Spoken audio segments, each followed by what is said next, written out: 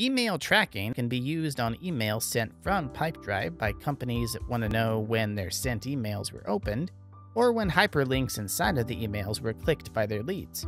And why might you want to know this? Well, so you can directly follow up with a call, for example, after someone has opened your proposal, which seriously improves your chances of closing a sale. To enable email tracking, just go to Settings, Personal, and Email Integration. First, be sure that your email is actually connected and synced to Pipedrive. Once enabled, you can then enable if you want open or link tracking, as well as if you'd like to receive notifications in the bell over here in Pipedrive. Now, when sending emails in the Mail tab and Detail views, you will get these little icons to enable the tracking options. And just click on the icons to actually enable them. Keep in mind that once you've enabled or disabled these, they will remain enabled or disabled by default for all future emails you send in Pipedrive. So the next time you're composing an email, you don't have to click on these again unless you actually don't want that email to be tracked.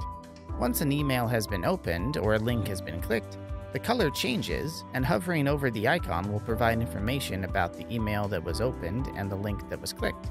You'll be able to check this within the sent email itself when viewed in the Mail tab, or the sender can also view information in the detail views by hovering the mouse over the open and link icons. In your email tab itself, you can also filter specifically for just tracked emails.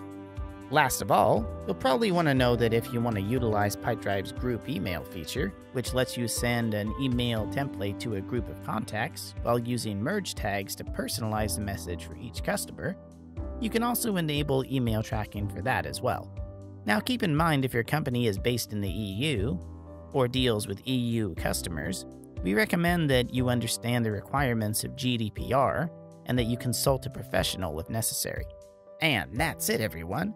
Just use email tracking so you can spend more energy on customers that you know are interested in what you're offering.